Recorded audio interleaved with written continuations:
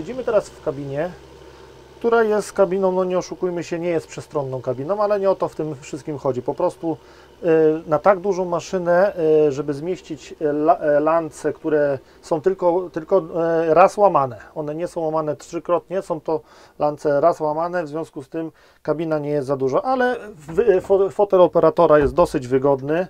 Przez, widoczność z kabiny jest bardzo dobra, po prostu jest to wysoko, wysoko, wszystko do, do, dosyć dobrze widać. I bardzo szczególną uwagę chciałem zwrócić na to, że jest to maszyna bardzo prosta, ponieważ e, joystick do przodu, jedziemy do przodu, joystick e, staje, to stajemy, joystick do tyłu. Wszy- Wszystko sterowanie e, belki odbywa się w joysticku.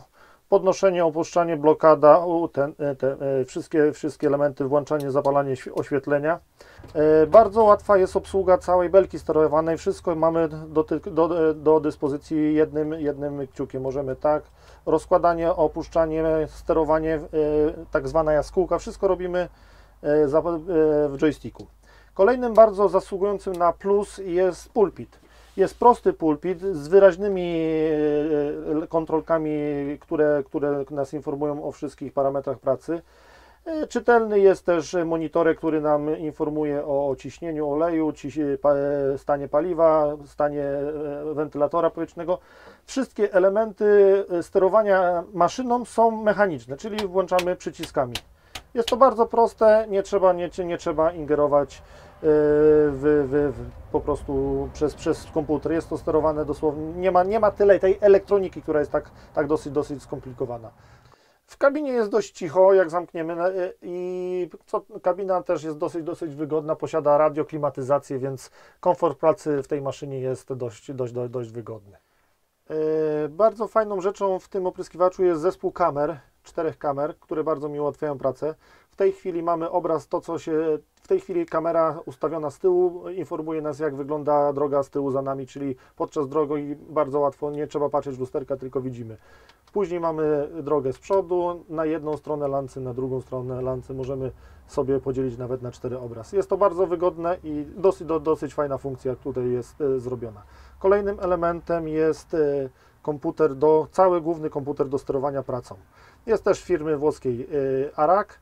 Jest to komputer Delta 80. Komputer bardzo intuicyjny, bardzo prosty w użyciu.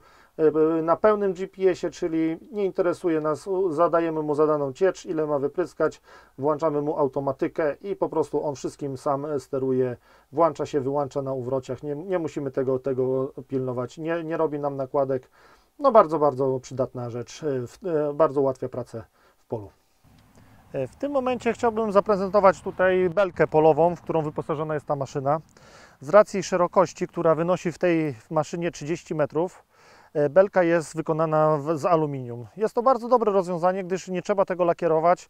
No i z tego co mi wiadomo, to chyba w życiu to nie zardzewieje, gdyż wiadomo, jak w rolnictwie używamy nawozów e, płynnych, tak zwany RSM, który też jest wyposażone dysze i które jest środkiem agresywnym, po prostu niszczy, niszczy, niszczy, ko- ko- korodują bardzo elementy zrobione ze stali. Aluminium ma to do siebie, że nie koroduje, więc, więc to jest jeden plus. Drugi plus, że jest lekką belką, bo po prostu musi być lekką belką.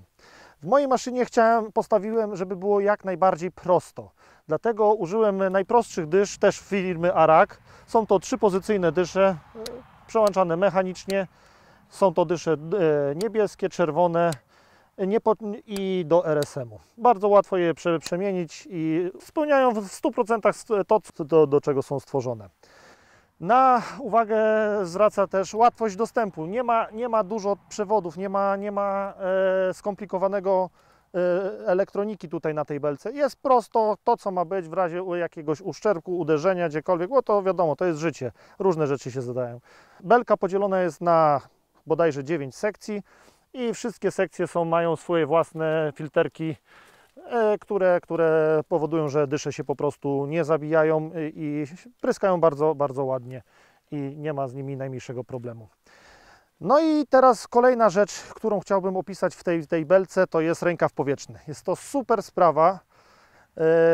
Fakt faktem to e, może to, to, to, jest opcja dodatkowa, która ko- kosztuje jakieś tam, tam wiadomo, coś trzeba za nią dopłacić, ale bardzo się to sprawia, mamy pogodę jaką mamy. Powiem szczerze, że rzadko kiedy mi się udaje wtrafić w pogodę ładną. E, Przeważnie pryskam wiatr, nie wiatr i po prostu zabieg trzeba wykonać.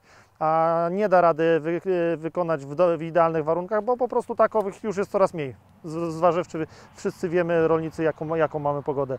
Rękaw powietrzny elegancko robi robotę po prostu.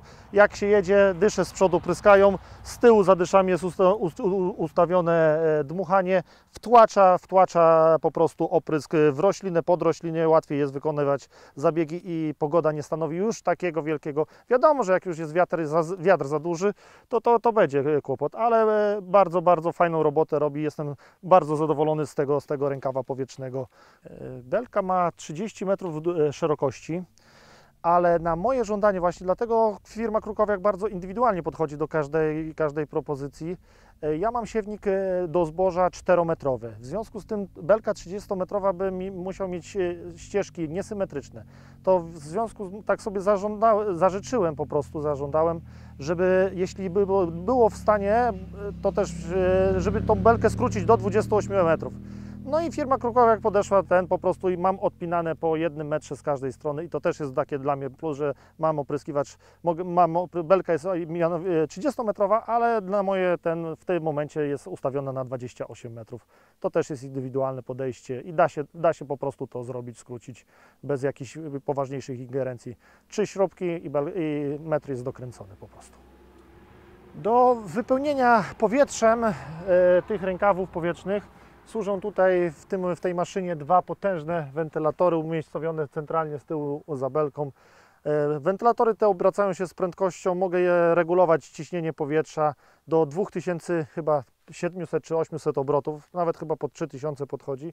Wystarcza to do napełnienia i ładnie, ładnie to po prostu robi. Nawet napełniają się, zwijają się i, robi to robotę po prostu.